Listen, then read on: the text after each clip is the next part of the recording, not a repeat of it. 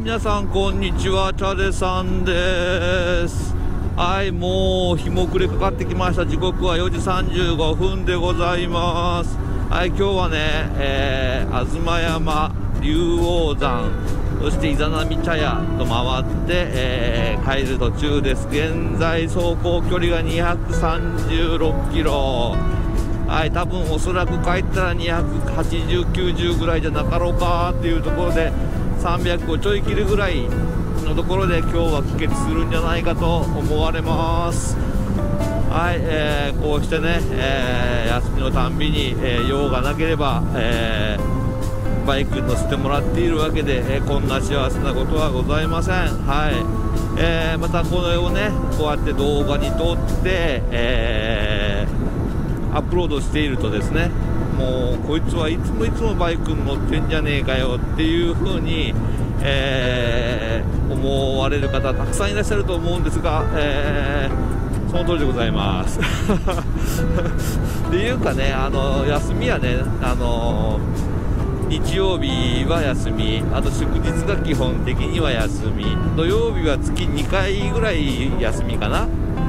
あとのあとは出勤なんですよ。あの普通にお勤めをしているわけでございますよ。はい、えー、なんです。なのでその休みを全部ね尽くして乗ってるかというとそうでもないんだけど1回乗ると3本4本くらいの動画になっちゃうのでまあそれが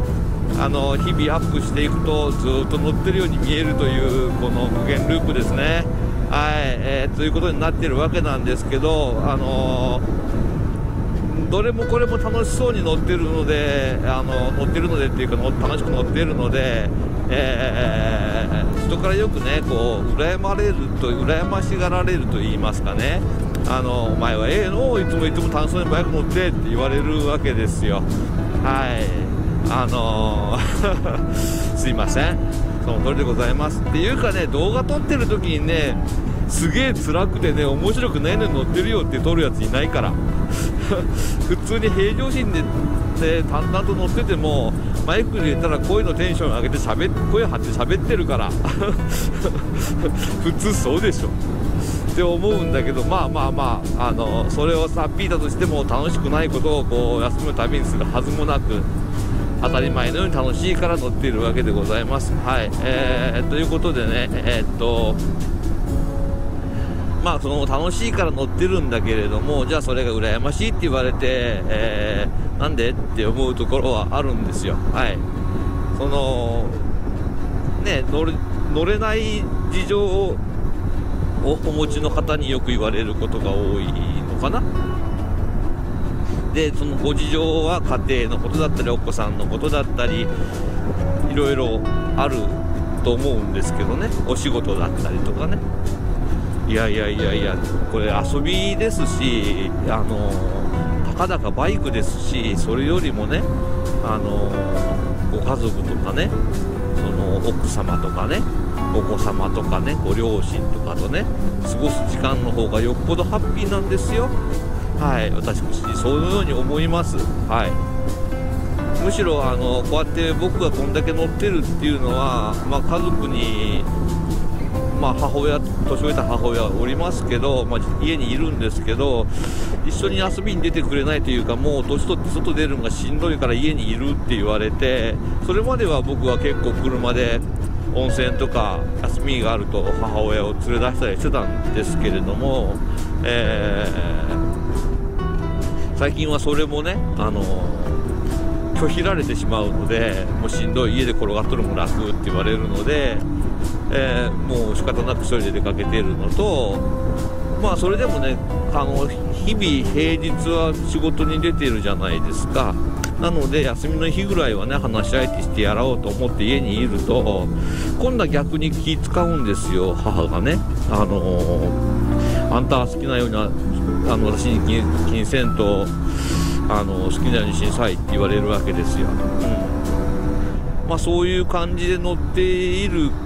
のでございましてその例えばその母の体調が悪かったり何か、ね、こう入院をしたりとかってなると当然僕バイク乗ってないですしその間は母親との時間に割いてて別にそれがあのオートバイ乗れないから不幸だと思ったことは一度もありませんし、あのそうなんですよ。なので、えー、っと今こうやって乗れてる状況の方は乗れてる状況は幸せなことは幸せなことなんですよね。好きな趣味に没頭できてるわけですから。でも一歩ひっくり返せばバイク乗りバイクの趣味なんて本当孤独な遊びじゃないですかこれ。あの友達いないやつのやってる遊びですよこれ。やいないっすよね、これ、本当、いや、現実的に知り合い、友達いますけど、あの休みのたびに引っ張り出して、遊び行くぜ、遊び行くぜっていうような友達はいません、はい、もういないというか、もうしないですよ、それ言えば来てくれるかもしれないけれど、毎週、毎週、毎週はよう言わんですよ、もう年も年だし、みんなそれぞれに家庭やら事情があるのは分かってるので。そんな人に人の振り回したり迷惑かけたりするようなことはしたくないですからね。誰だってそうじゃないですか。なので、えー、当然のようにあの1人で行動することが増えますね、まあ、むしろ逆にそのゴルフとかテニスとか野球とかサッカーとかのように何人かでやらないとできない趣味をお持ちの方の方がよっぽどこうそれを毎週やってる人の方がよっぽどこう人間関係とかリアルにたくさんあのねリア充っていうんですか？だと思いますよ。バイク乗りよりよりかはるかに。うん。という気がします。まあもちろん友達いないって言っても全くゼロじゃなくてバイクの友達もねあーって JC ライダースとかそのバイクドクターさんとかバイカーさんのグループで一緒に走らせてもらってお仲間はいるんですけれどそのお仲間で一緒に個別にプライベートで走ることがないっていうだけの話ですよね。それはそれ、えー、それはそれ普段は1人っていうねこれ決してあの人から見て幸せそうに見えるかもしれませんけど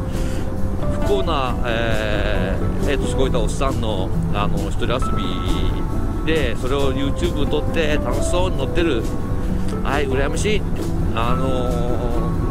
ー、そんなことないです。はい。あなたの方がきっと幸せです。っていうかねあのオートバイの趣味って1人でやっぱし乗れ乗ることができる人人でコースを考えたりあのできる人もちろん仲間とやるのが楽しいことだし仲間とやっちゃいけないわけでも何でもなくてあのあるところからねそのな年齢もとかその学生学生の時は全然良かったけど社会人になったら無理とかねそのあるところからね1人でもできる走りに行けるようにならないとこのバイクという趣味は長く続けられないんですよ。みんなそれぞれに環境職場や家庭やそのいろんな環境収入もだしいろんなことが変わってくるので今はねみんな一緒に揃ってやっててもそうなると、えー、なかなかねあの、予定を合わせて一緒にバイクに乗って遊べなくなるんですよ。そればっかりやってるとじゃああの人今日ダメだしあの人もダメだから今日じゃあ俺もやめたって。なってだんだんだんだんみんなの予定が合わないから自分自身が乗る頻度が減っていくんですね。で逆に長く乗り続けてあのこういうのを趣味としてきてる人っていうのはあの原則1人で走る遠くに1泊のツーリングでも1人で行くとかいうのをどんどんどんどんプラン最初は勇気いるんですよ。だからドキドキもするんだけどそういうのが慣れてきてあそこ行ってみようここ行ってみようっていう好奇心と人に絡まず孤独であることにだんだん慣れてくる人は結構長くオートバイ乗ってらっしゃいますね。はい今まで僕の経験上ね周りを見るとね、うん、みんなとしか一緒に走らない人っていうのは、まあ、だんだんだんだん降りていく、うん、気が付いたら降りてる、うん、あの人乗ってないの最近って最近乗ってないねって。あおバイク売ったんよとかそういう風な話はよく聞く、うん。まあ全部じゃないですよ。全部じゃないけど大体そういうそういう傾向があるよねっていうだけだけどね。なので、えー、バイクっていうのはこうやって1人で孤独に走るのが原則でそれで、えー、とはいええー、あまりにこれをしすぎると本当にあの世の中を拒絶するんじゃないけどあのダメ人間になりますからね。ちゃんとあの人と人と接することができない人になります。あのね引きこもりっていうのがあるじゃないですか。あの学校に不登校とかさ。あれとさそんな変わんない状況に精神状態がそんな変わんない状況になると思うよ。うん、人と接するのが下手くそになって面倒くさくなって1人で行動するのはできるけどって。うん。なのでところどころああいう、まあ、仲間とお酒を飲みに行くとかカラオケするとかあのー、グループでツーリングするとかっていうのは織り交ぜないとダメですよ。あの特にあのネットでいろんな人と絡んでるから知り合い多いしあの SNS でこう人との会話が成立してるからえっ、ー、と引きこもってても大丈夫って思ってる人は危ないよ、うん、リアルに動いてないとやっぱりダメだからね、うん、っていう感じでねあのー、何の話をしたいかっていうとこうやって1人でオートバイ乗るのも楽しいしこうそれができる人がこういう趣味長く続けられるのは間違いないんだけど一方でこういうことが長くできる人っていうのは、まあ、あのある程度どっか寂しいとこがある人なんだよねって僕は思ってる。自分もそうだし、う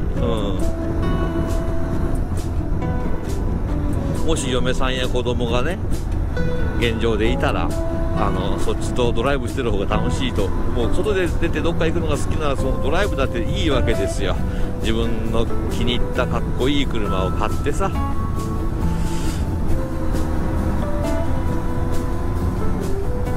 そういうことです。はい。まあそれがないで車はでかくて1人じゃ無駄ででかいしあのつまんないからなんか寂しさを感じちゃうからバイクのは1人乗りだし基本的に、あの、そこに寂しさはないよねって。で見た目も寂しそうに見えないよねっていうことで、えー、こっちを選んでる感じ？もあると思うな俺自分の中に。全然それあると思うんだが、はいそんな感じで今日も一日一人遊びをしてしまいました。寂しいです。はい。なのなので仲間を求めております。お仲間になりたい方はぜひチャンネル登録をお願いしますってそこかよっていうところでツッコミが入ったところではい今回の動画おしゃべりはこの辺にしておきましょうか。はいまた次の動画でお会いしましょう。バイバイ。